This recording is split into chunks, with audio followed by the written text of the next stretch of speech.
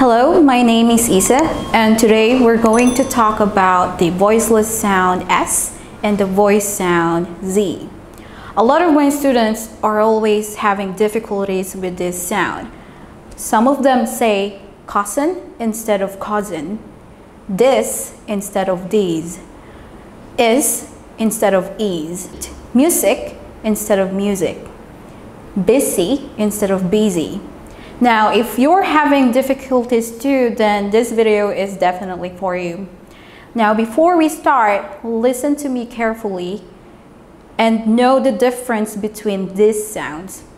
For the S voiceless sound, we say sad, so, sits, sound, sister. In the voice sound Z, we say zip, zoo, zap, zebra, quiz.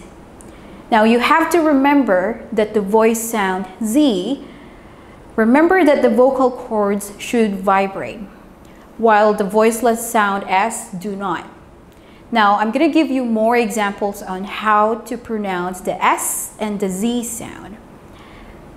For the Z sound, we say Tuesday. For the S sound, we say Sunday.